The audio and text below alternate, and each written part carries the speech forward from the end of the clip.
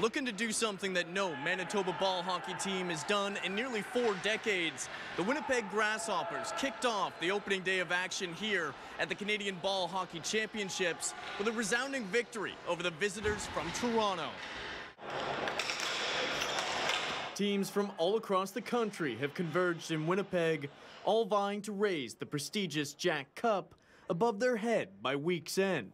Over 800 athletes have made their way to the prairies for the annual competition, a clear indicator to event director Jeff Dickowitz on just how rapidly the sport's popularity continues to grow. For years and years and years, it was like kids played street hockey. There were some adult ball hockey leagues. Uh, nowadays, the youth leagues are exploding across the country. National team member and Winnipeg native Remy Laurencel led the way for the Grasshoppers in a high-scoring 7-4 opener.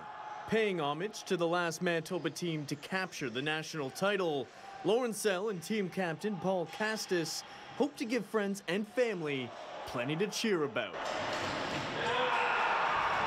It's nice having it at home and we can actually focus on building a good team and getting the right guys to come and play.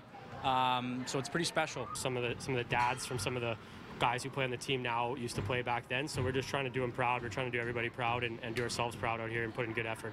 With the Summer Olympics taking place in Paris, many have questioned why ball hockey has yet to be featured on sport's greatest stage.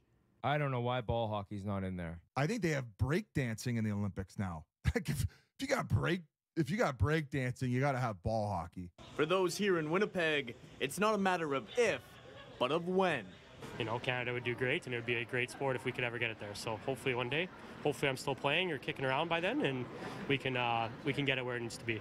Travesty that this is not an Olympic sport. I guarantee it'd be one of the most watched sports on TV and in the rinks. They'd make a ton off it, and it would be exciting to watch. In Winnipeg, Kurt Black, City News.